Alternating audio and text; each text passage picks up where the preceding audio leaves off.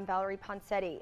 The UL Ragin' Cajuns are without a football head coach after the university fired coach Mark Hudspeth.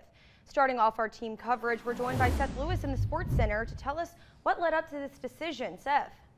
Valerie, this day for Cajuns fans seemed inevitable for a while now. The marriage between head coach Mark Hudspeth and UL Athletics coming to an end after seven seasons of several highs and lows.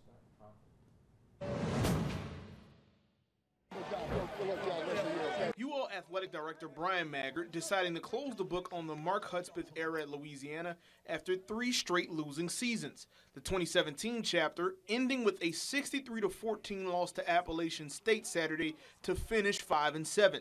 The only thing that was consistent for UL this season was inconsistency. I was evaluating, you know, all along. Um, you know, I don't think any of us expected to, to drop the Georgia Southern game you know, our coaches and players included, just the inconsistent play throughout, I think just maybe solidified the decision. The declining numbers with attendance at home games certainly playing a factor too.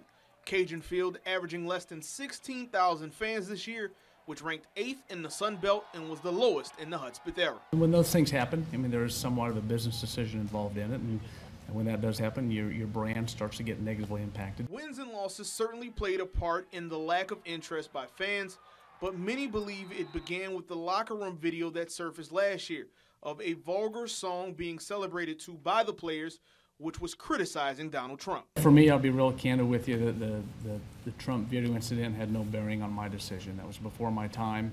Um, you know, some may argue that had some re residual effect, you know, with maybe the apathy or lack of interest, you know, in our in our team moving forward.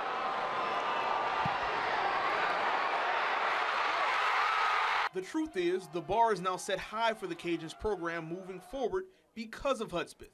UL winning four straight New Orleans Bowls from 2011 to 2014 to start his era, something Louisiana hadn't done once before he arrived in Lafayette. Coach Hudspeth has established a level of relevance that certainly heightened the expectations of Ragin' Cajuns football fans, and he's leaving the program in better shape than when he arrived.